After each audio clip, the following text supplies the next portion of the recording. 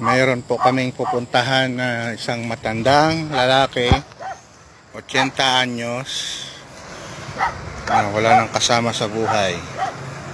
Bibigyan po namin mga dilata, noodles, bigas, sabon, gatas.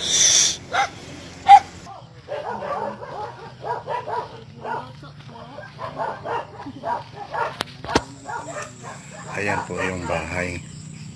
Magandang umaga po, ka Jose. Ah, nag-ano kayo? Init po ng tubig. Ha? Ito po sa kanyang bahay, hindi po kayo makakatayo.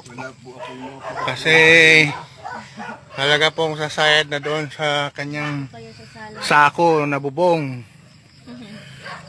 Ayan po ang tumulong. Tsaka yan. Ayan po yung kanyang bahay. Meron na ano, Sako po ang kanya. Ayan po lang ang kanyang tulugan. may kumot dito tayo. Ayan po. Bigay ni Miss Beautiful.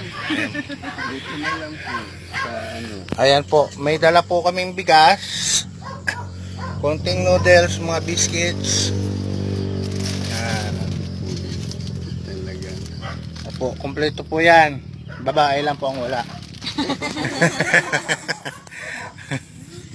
Ayan po siya.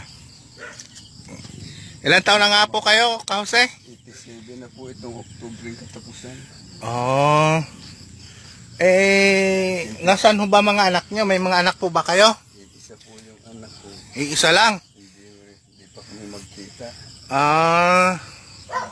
yung asawa nyo, Wala po, patay na po. ah, patay na. Anong pangalan po ng anak niyo? Ayman po.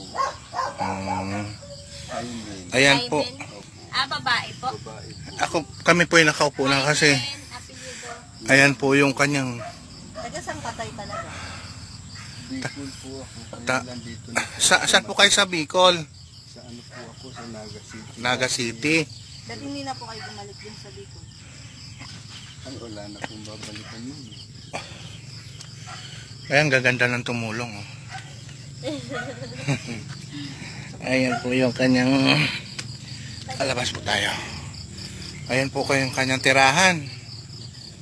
Eh, baka po may mga gininto ang puso dyan na maantig at gustong tumulong kay Tatay Jose.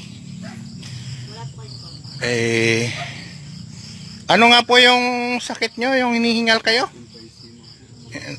Ah, ano po? Ano po? Emphysema. Emphysema? Oh. Sa paninigirin mo. So, tumigil na kayo paninigarilyo. Oh, mabuti naman. Ayan po.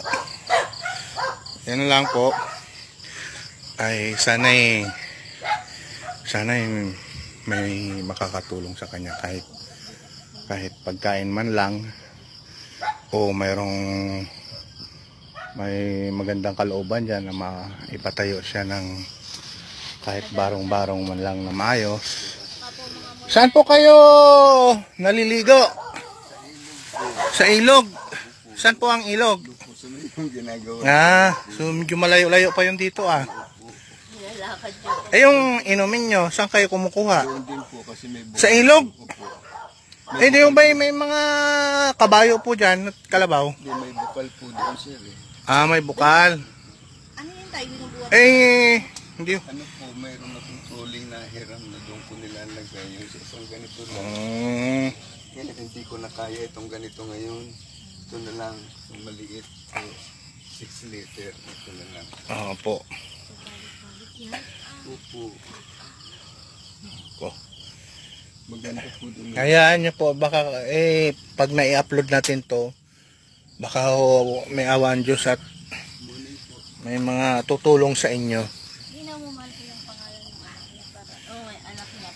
Ano ang pangalan pala ng anak nyo na hindi nyo na nakikita? Ano po kasi yun, palit yata ng pangalan eh, kaya hindi mapunta. Pero ngayon po, ay yung tunay niyang pangalan. Imen po. Aymin? Imen. E-I-M-A-N. I mean, Opo. I mean ano po? Lagarde po. Lagarde. Yon, kung makakarinig si I mean Lagarde, aba eh, yung tatay. Pasyalan mo naman. Nahihirapan po ako sa loob kasi ang baba ng bubong. Hindi ako makatayo. Ayan po ang kanyang tirahan, mga kapatid, mga kababayan. Ay mga medyo sagana dyan sa biyaya. Eh, baka pwede natin siyang tulungan.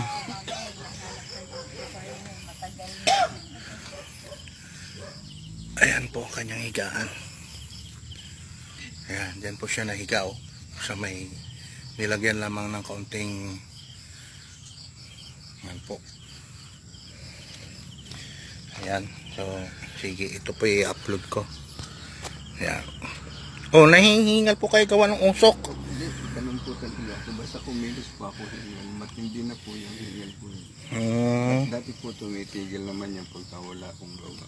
Pagka kumilos ako talaga ano. Hingaling ka lalo dyan tayo kasi yung ano mo usok. oo. Yan yan sa usok. Kaya upo na lang po. Dapat sa'yo may lutuan kayo ng ano. Maayos yung kalan dapat. O kahit yung maliit na kalan. Oo, Ay kahit yung di ano lang, yung gas na yung nabibili. butane. Magkano Hindi, yung ano, yung super kalan siguro magkano lang. Ah, yung super kalan ano, yung maliit. Maliit lang. O meron tayo nun, di ba? Oo, bigay natin sa kanya. Kasi hindi ganyan, talagang hindi ngaling ka kung may hingal.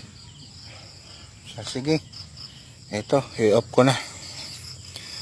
Salamat po. Saka naman kahit yung kakapi ka.